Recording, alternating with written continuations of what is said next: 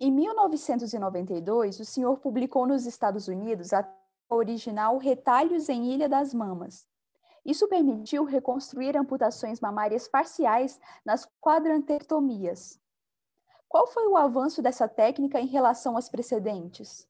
Essa pergunta é muito interessante, porque todas as técnicas e tudo que se lia e se reconhecia até os anos, ah, digamos, 90, tudo que se até os anos, até o final dos anos 80 e anos 90, eram reconstruções totais da mama. Por quê? Porque como tratamento do câncer só se conhecia a amputação total da mama. Então nós desenvolvíamos maneiras de reconstruir uma mama inteira, que era a técnica do músculo latissimus dorsi ou a técnica do retalho miocutâneo abdominal.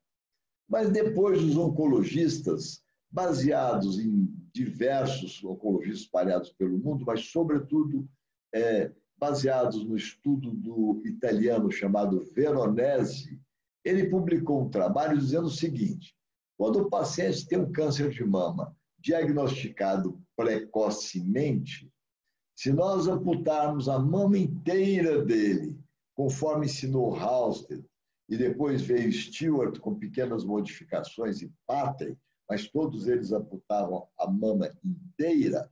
Aí, outros oncologistas, mais modernamente, início da década de 90 e final de 80, do, do século passado, eles começaram a preconizar o tratamento com ressecções parciais, tirando apenas o tumor, que é a lumpectomia, ou tirando o quadrante interno onde estava o tumor, que era a quadrantectomia.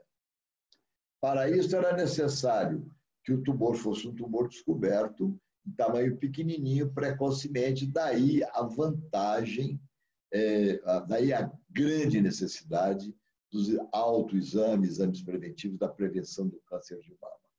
Muito bem.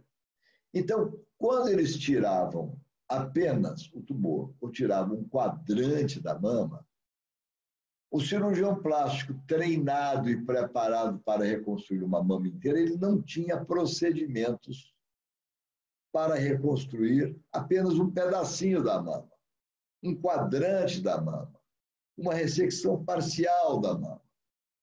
Então surgiram vários retalhos de vizinhança, retalhos quer dizer, fragmentos de tecido rodados dentro da própria mama, e quem tirava de um lugar ia para outro lugar, para poder preencher aquele vazio criado pela quadrantectomia.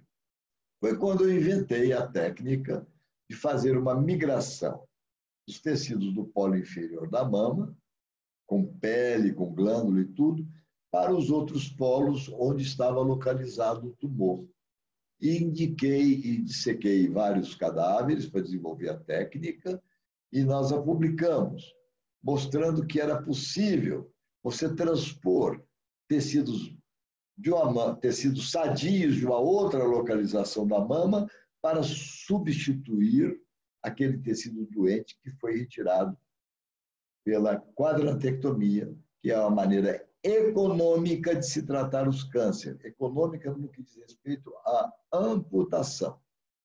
Então, esse é um novo capítulo mais moderno da oncologia ou da mastologia, ressecções parciais e a reconstrução com retalhos menores, o que torna então a cirurgia menos agressiva, é, com menor morbidade, tem outras implicações do ponto de vista mastológico, mas a cirurgia passa a ser menor, mais econômica, e isso mostra a importância que tem na prevenção do tratamento do câncer.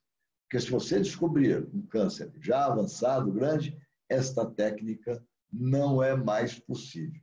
Aí você tem que voltar às técnicas antigas de mastectomia radical, proposta por Halsted, por Stewart e por Patey e outros.